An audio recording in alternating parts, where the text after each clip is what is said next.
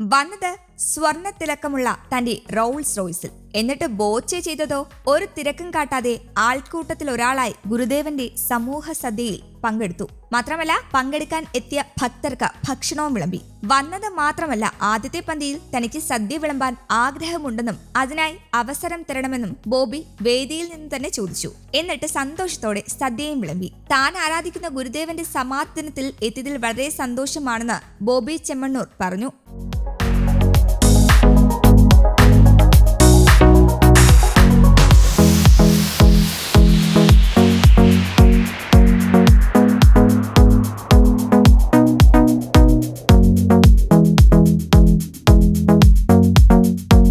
ശ്രീനാരായണ ഗുരുവിന്റെ തൊണ്ണൂറ്റിനാലാമത്തെ മഹാസമാധി ദിനത്തോട് അനുബന്ധിച്ച് അതിഥി തരമായി കുറുക്കഞ്ചേരി ശ്രീ മഹേശ്വര ക്ഷേത്രത്തിൽ എത്തിയതായിരുന്നു ജനങ്ങൾക്കിടയിൽ സ്നേഹത്തോടെ ബോച്ചെ എന്ന വിളിപ്പേരുള്ള ബോബി ചെമ്മണ്ണൂർ ജാതിമത ഭേദമന്യേ എല്ലാവരും ഒരുപോലെ സ്നേഹിക്കണം. സ്നേഹമാണ് വലുത്. തുടങ്ങിയ വാക്കുകൾ ഗുരുദേവനിൽ നിന്നുമാണ് കൈക്കൊണ്ടതെന്നും ബോബി പറഞ്ഞു. തനിക്ക് വരും വർഷങ്ങളിലും ഇവിടെ വരാൻ ആഗ്രഹമുണ്ടെന്നും കൂട്ടിച്ചേർത്തു. താൻ മുൻപും ഇത്തരത്തിലുള്ള പരിപാടികളിൽ ഗുരുദേവന് തനിക്ക് കഴിയാവുന്ന രീതിയിൽ സംഭാവന ചെയ്യാറുണ്ടെന്നും ബോബി പറഞ്ഞു.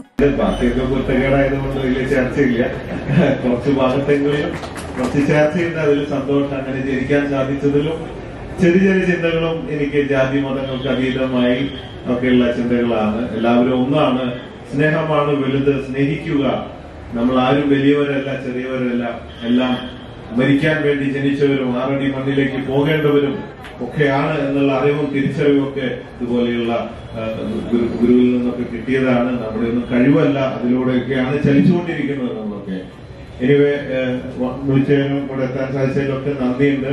അല്പം വിളമ്പിയിട്ട് പോകണമെന്നുണ്ട്. Thank you very much so wish you good luck conquer the world with love സ്നേഹം കൊണ്ട് ലോകം കീഴടക്കൂ. Love you every news desk Kerala Kaumudi